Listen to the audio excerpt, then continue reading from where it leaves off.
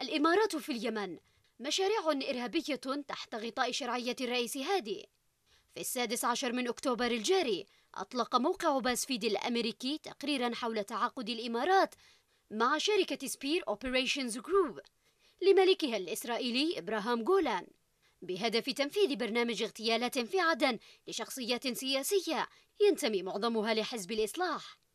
التقرير أورد شهادات لرئيس الشركة جولان ومساعده جيلمور اللذين أظهر فيديو مصور مشاركتهما في محاولة اغتيال النائب الإصلاحي إنصاف مايو في عدن أواخر ديسمبر 2015 في مارس 2015 دخلت الإمارة لليمن تحت غطاء التحالف العسكري الذي قادته السعودية لدعم الحكومة الشرعية في مواجهة انقلاب ميليشيا الحوثي وحليفها صالح.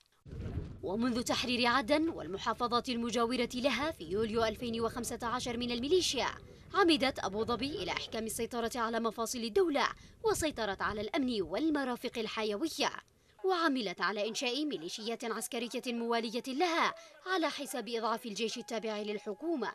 استخدام الإمارات لشركات اغتيالات دولية ليس بالأمر الجديد. ففي ديسمبر من العام 2015 نشر موقع ميدل إيست آي البريطاني تقريرا حول تجنيد الإمارات لمرتزقة كولومبيين وضباط متقاعدين من جنسيات أخرى لتنفيذ مهام قتالية في اليمن.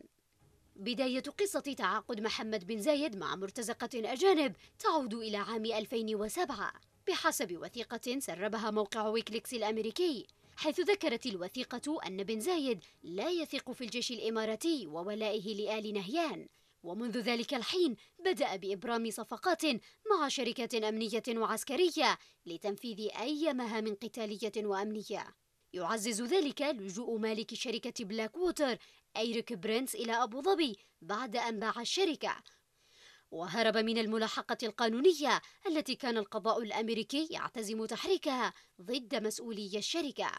إذا سلوك مافيا دولية تقوم به الإمارات هذه المرة في اليمن ناشطون حقوقيون وقانونيون يطالبون الرئيس هادي بالتوقف عن إطفاء الشرعية على الأعمال الإجرامية للإمارات في اليمن خاصة بعد صدور تقرير يدين الإمارات بالصوت والصورة والشهود فإلى متى سيظل اليمن مسرحا للإرهاب المشرعن والجرائم المسكوت عنها؟